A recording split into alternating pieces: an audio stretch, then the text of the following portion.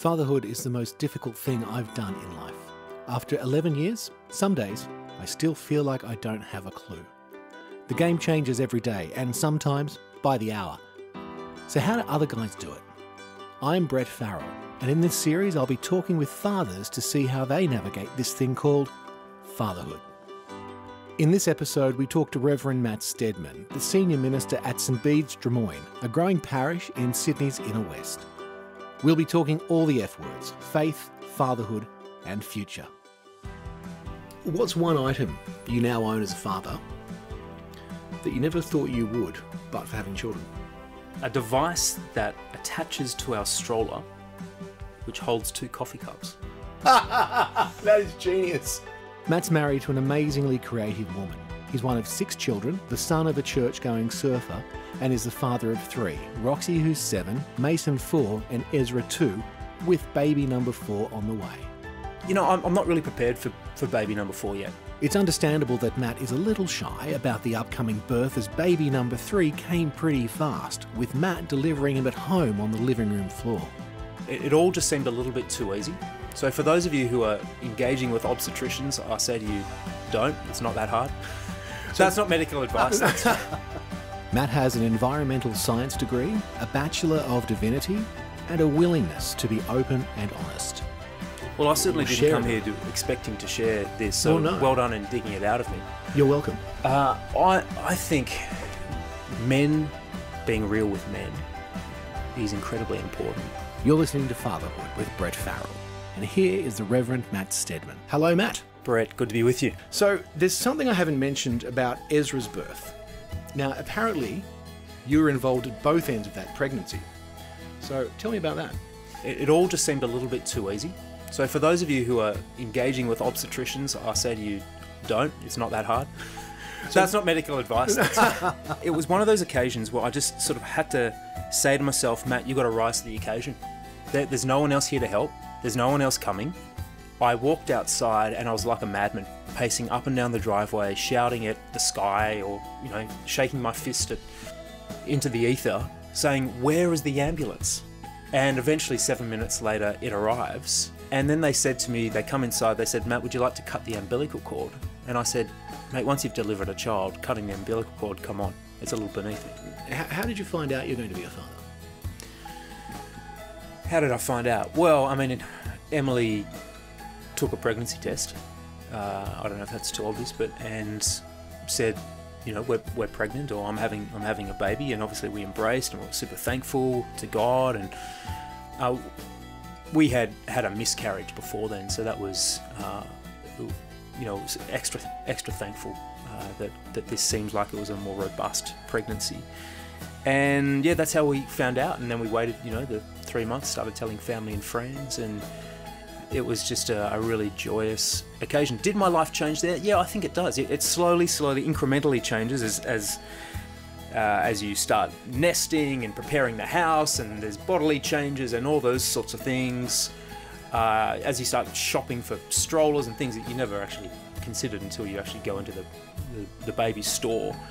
Matt, just on the miscarriage you mentioned, more men I speak to confess that they've had a miscarriage. It's, it's, I was amazed how common it is, but no one talks about it.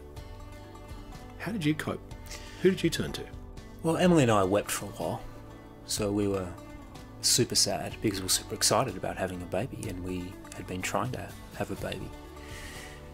And then when the miscarriage happened, uh, we wept, and then I really wanted to tell my mum and dad, and so I remember sitting down in the lounge room and and um, telling them, mum and dad, and they wept. We all wept together, and then we moved on. But I think speaking to someone, telling someone, is it's just like a, a release valve of pressure. Uh, so that's that's how we dealt with it. I'm not sure exactly whether who Emily spoke to about it. I think she spoke to her sister. They're quite close. But yeah, my my I wanted to tell mum and dad. Fatherhood is a voyage into the unknown. We have no idea what to do, aside from a few books that we're reading. There's lots of practical advice about raising children, but not about being a dad. Despite this, we keep going back for more. Three kids, one on the way. Hmm. You must know something about fatherhood we don't. I wouldn't put it like that, to be honest. I I just think Em and I learn on the job. We just keep learning as as we go uh, as we go along. But one of the principles we do operate under is doing the hard yards early and reaping the rewards later. We're firm with our kids. We're loving and firm. I sort of liken it to holding a bar of soap. You hold it firmly. Mm-hmm. If you squeeze too tightly, it's likely to leave your hand and hit you in the forehead. So we hold it firmly, uh, but not too firm. And that's what that's the I guess the posture we take with with our our children. But that's really interesting. So tell us about that when you add more to the collection. You know, I'm, I'm not really prepared for, for baby number four yet, and that might sound really odd, but I think again we'll just adapt as uh, my son, he is a boy coming, arrives. I think the children almost become more well rounded earlier as they engage with more people. I mean, that's that's what life is really about: engaging with other people, adapting, learning social etiquettes and social skills, and, and that sort of thing. And I can see my youngest, Ezra, is a little bit more rounded, uh, robust, perhaps even resilient. How is it that the younger, the younger child, do you feel, becomes more rounded? Is it because the older children are around to whip him into shape, as it were? Well, I mean, when I think about Roxy, my, my firstborn, there are more photos of her, there are more videos of her, and, and that sort of thing. Of Ezra, there's, there's less of those because, of course, your attention is, is divided. Now, I, I heard someone say once that your, your love isn't divided, it's multiplied as, as the children come along, and I, I fully agree with that. But your attention is somewhat more divided. So Ezra will be crying a little longer in the cot before we get to him than Roxy was. I mean, one peep out of her, and both of us would be on the side looking over, wondering what we could do. Since becoming a father, I see the world around me changing quickly. The things my children are facing didn't exist when I was a child. It made me wonder how do you prepare your children for a future when you don't know what that future looks like? But what do you imagine the world will be like? And because you got the age ranges are staggering, and, even with the pace of change now, you can see what the world was like seven to ten years ago is not what the world was like two years ago versus who knows. So, how what what does the world look like in the future for you as a father? What do you hope for? Well, what I think the world might be and what I hope for are very different things.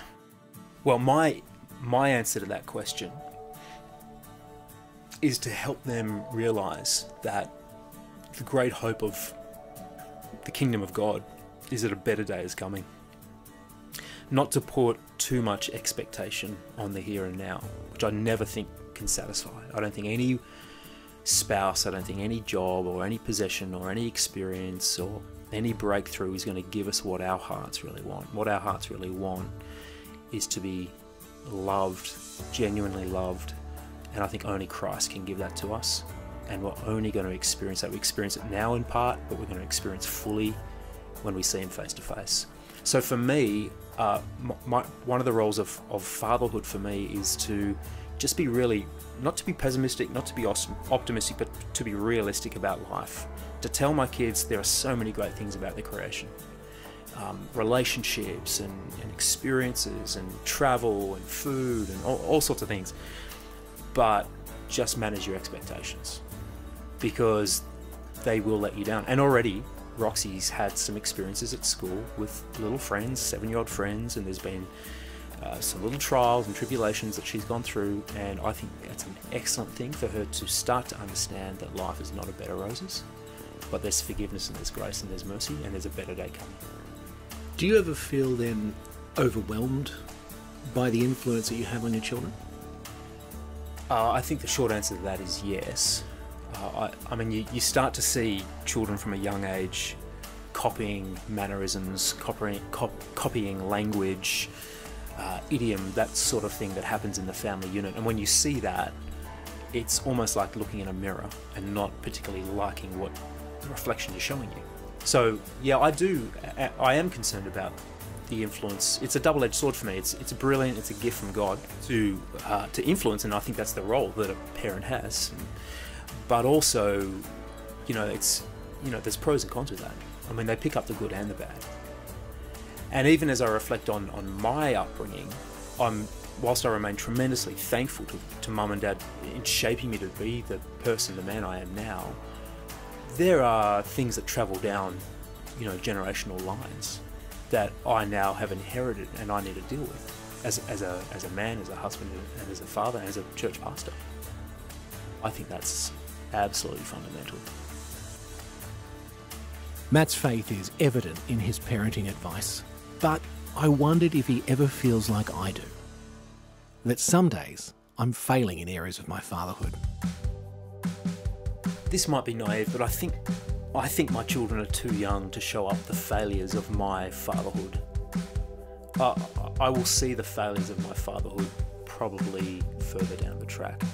I think probably mid-teens and, and forward. They will be exhibiting, I don't know, traits or behaviours that I have directly influenced, which they will need to carry on in their, into their adult life. So I think it's a little early to, to identify that. Okay, maybe too early to identify, but how do you prepare us as fathers then? Because I, you know, as a father, I can see I can I can mess up every day, and it's it's quite clear right in my face when I've messed up every day. I'd never even thought about the idea that I could be messing up now, not seeing it until, you know, 10, 15 years down the line. So whether it's today or down the line, but how can we prepare for perhaps the inevitable? Well, firstly, just a, an understanding and appreciation and acceptance that, that it will happen, that none of us are perfect, that there will be things that rub off on our children that we're not happy with. Uh, that's just par for the course. That that's human nature. We're all fallen creatures, and unfortunately, some of those things will travel into our children, and they will carry them into their marriages and, and into their their children.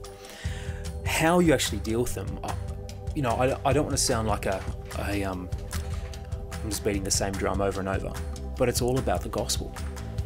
You know, as fathers, I think we need to I think we need to realize that that God is in the business of transformation by His Word and by His Spirit, and we need to take that very seriously. Not okay. just for not just for the sake of the glory of God, but for the sake of our children. But let, us break that down a bit mm-hmm. because you know you're a reverend. Your faith's obviously going to influence your life journey and your fatherhood.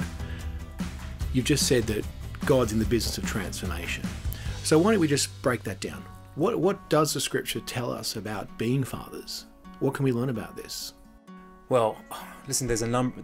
I mean, fatherhood is a massive concept in the scriptures. I mean, it's it's all about the fatherhood of, of God and and God being a father and giving His Son.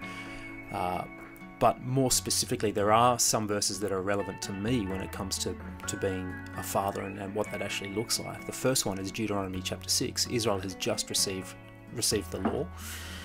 Uh, and Moses says, uh, talk about it with your families, talk about what it, talk about it with your children, talk about it as you walk along the road, what it actually means, how it impacts your life.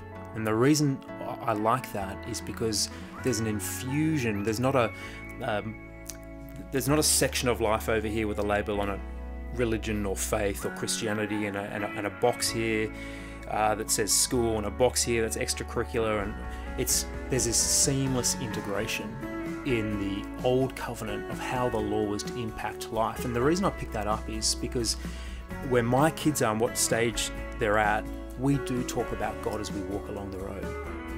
What does that look like though? Because you know, I think I think for fathers and men, we you know, if fatherhood came with an instruction manual, we still wouldn't read it. What does talking about it along the road look like? I'll give you an example. Talk about it. Yeah, Show I'll give how you, you do it. I walked the kids to school, uh, Roxy to school, Mason to preschool, a couple of days a week, and we will regularly stop and look at.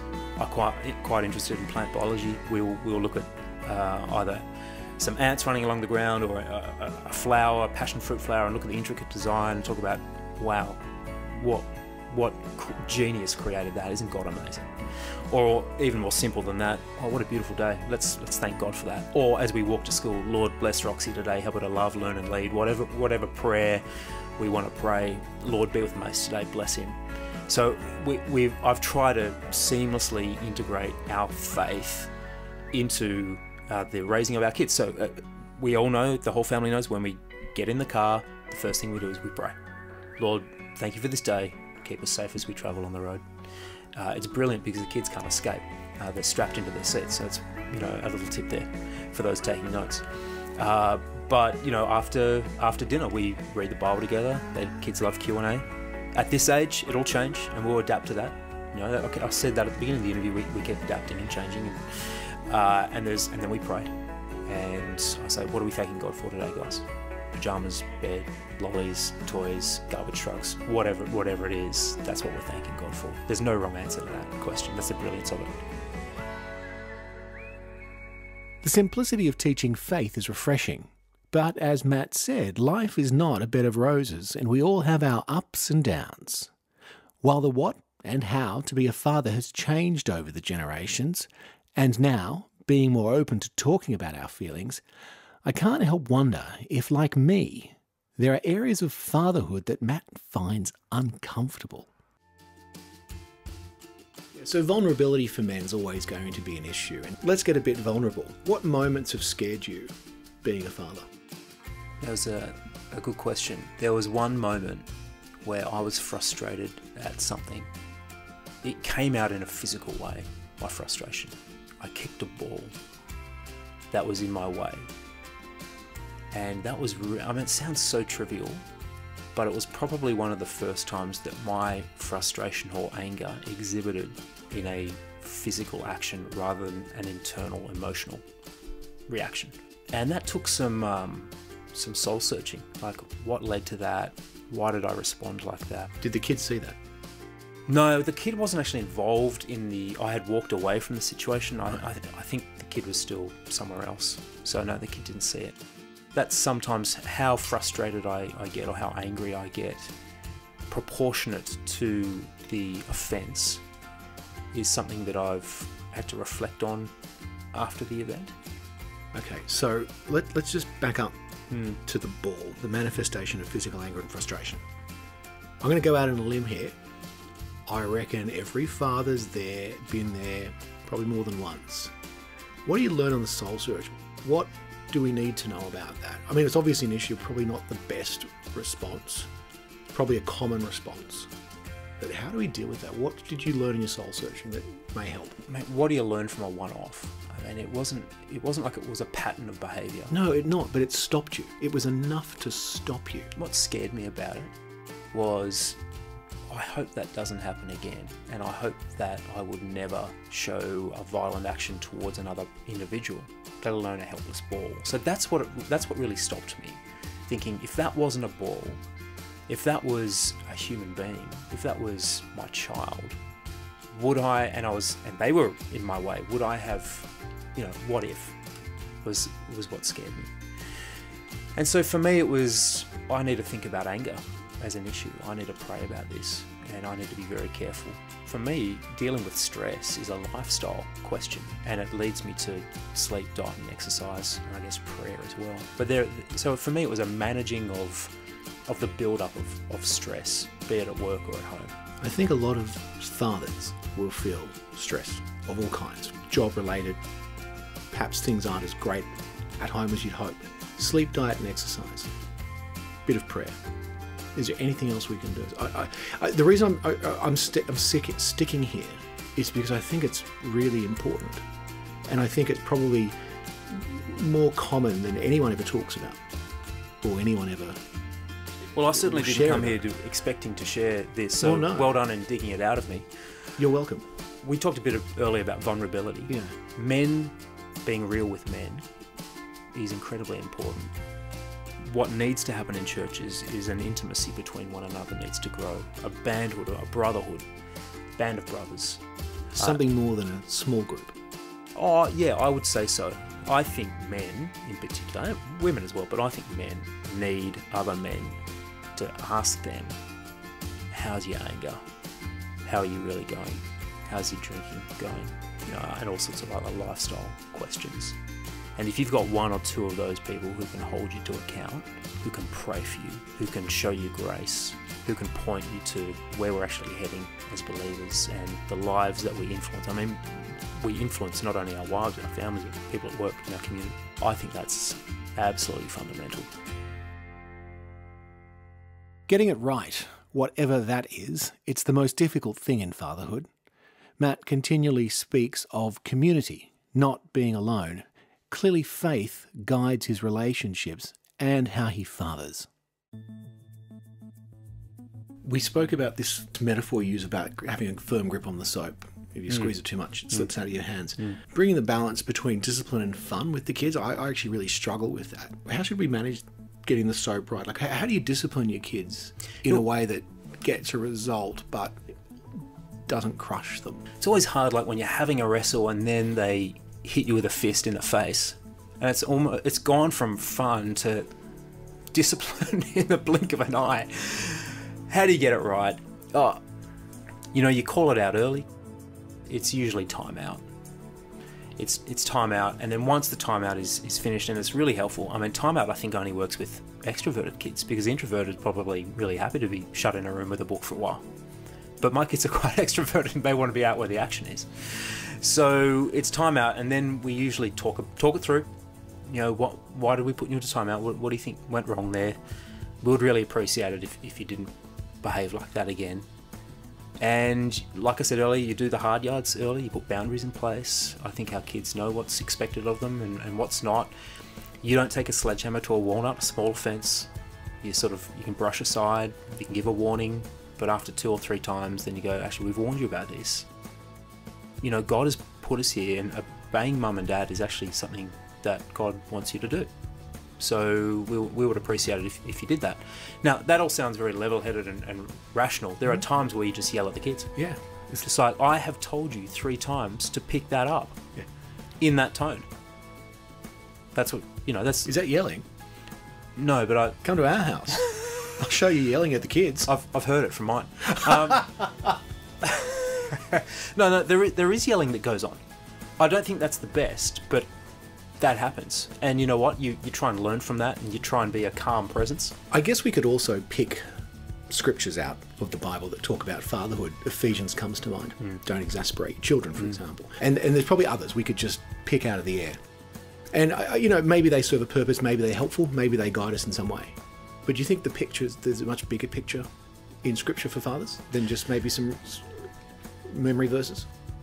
It's funny you mention Ephesians because I think more important than that is Ephesians 5. The reason I take you to Ephesians 5 is because one of the first things it says is husbands love your wives. And I think that's something that every father can bless his children. One of the ways he blesses his children is by loving their mother. That's one of the most important things that a father can do to demonstrate to the kids that you love mum and mum and dad are tight, and mum and dad are on the same team or on the same page. Sometimes kids will see mum and dad fighting and disagreeing. So important for kids to see the reconciliation process, the asking for forgiveness, the praying together, whatever, whatever it involves. So I think that comes before not exasperating children is husband love your wife as Christ loved the church. That's really important. So, in some respects, it's not necessarily a father child issue. It's more about a husband wife issue first. Oh, absolutely. I mean, the, your wife, the, the spouses make promises to one another. There's no promise to your children, and, and I mean, it's it's mum and dad first, and the children come after that. You know, that that's the biological reality of things. But I also think that that's important to demonstrate to the to the children that mum and dad uh, have made promises to each other. We're on the same page because very early on they learn about separation and divorce and you know questions like are you going to get divorced uh, how do we know that you're still going to love mummy in five years time are the questions How do they know? How do, how do you answer that? uh, I, I answer well mum i just want to reassure you rox that mum and dad do love each other and we've made promises to each other and we work very hard to make sure that we continue to love each other and so that's not going to happen that's what we say Okay. And she accepts that now, eight, seven. Seven. Yeah. She knows a number of her friends. Uh, I mean, she came in the other day and said, "Oh, didn't you know? Did you know that so and so has two mums?" I said, "Oh, what, what, what are we talking about there?" She goes, "Oh, a stepmom and a biological mum." I said, "Ah, okay. So we don't have to have that conversation yet." Not yet. You're leading a parish, lots of young families in your area. Oh, plenty, yeah. Plenty. And, Yeah. and some of them come to church, some of them you hope would come to church. What's the best bit of advice you've ever been given about fatherhood? I think it's love their mother. you don't want to underestimate the importance of the mum and dad loving one another and loving their children in, in the family unit. I mean, that's what the family unit is built upon mum and dad coming together and producing children. The most important thing is to love their mother so that as a team, mum and dad, you can demonstrate what it is for Christ to love the church. And therefore you can you're in a, a very solid place to, to love the children. That was Matt Stedman's take on fatherhood. It's more than a relationship with the kids, it's loving his wife and having a band of brothers, a community around him for support. Matt admits that he may not have all the answers, but he did share some foundational theology to help us along the way. I hope that you gain some valuable ideas and tips, and I would love you to join me as I continue to chat to fathers, expanding my dad skills and navigating my way through fatherhood. As your children get older, they get more sentient and want to make their own decisions, and that's all part of growing up and perfectly normal. But some of the choices, particularly in clothing, my daughter came out in some denim shorts, more hot pants, not to the knees, and a, and a like a leotard top, and said, "Oh, can I wear this to church?" okay, well you've answered the question. No, I just find it funny. I can relate to that. I mean, Roxy's got a Halloween disco coming up. And so Em and I had to talk about whether Roxy's allowed to go to the Halloween disco. We said you could, but you can't dress as something scary. How about you go as an angel? She says, Well, Satan's an angel. Can I go as Satan? no, you need to go as a good angel, not a fallen angel. You said she was seven. Yeah. Okay, well, good luck with that, Matt. Thank you to the show's producer, Loretta Farrell, and to Philip, Dwayne, Derek, and Michelle at Hope Media, and Matt for letting us tell his story. I'm Brett Farrell, and this is Fatherhood.